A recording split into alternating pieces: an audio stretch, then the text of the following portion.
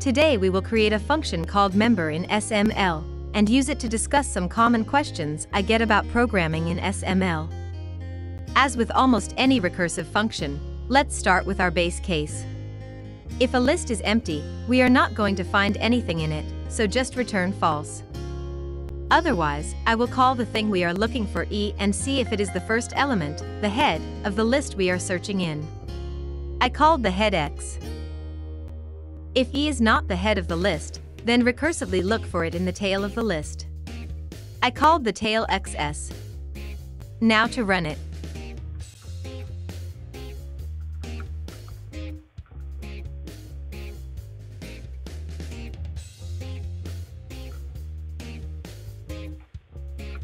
Check to see if 5 is in the list 1, 2, 3, 4, 5.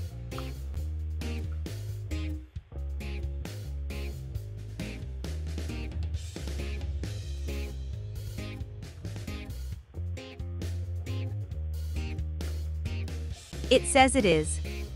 Our function works. Wait, what is that warning? Calling poly equal val member? That is not a warning we need to worry about. It is not an error in the code, it is just warning us about a slight, unavoidable inefficiency. Since the type of E and X are not known ahead of time SML must first determine their types before it can see if they are equal.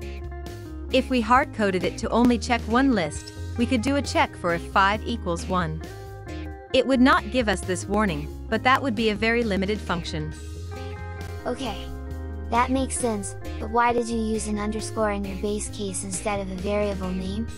I could have given the variable a name, but since the variable is never used it is standard practice to just use underscore. This way people reading your code know without looking that this variable will never be used. Okay. One last question. Since you are using patterns, why not go all the way and have a pattern where the value we are looking for is the head of the list like this? See?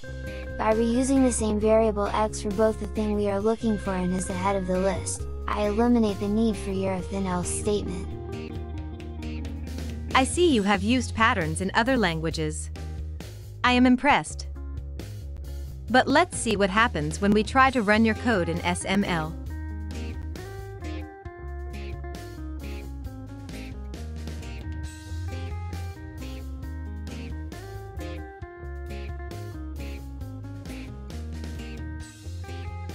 The error message is because SML does not allow you to use the same variable twice in the same pattern.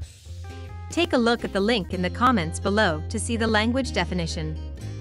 I don't know why SML does not allow this, but it is their language, and they are letting us use it for free. Wow! There is a lot of great information in that document. I'm going to read it and get back to you if I still have questions. Talk, to you again soon.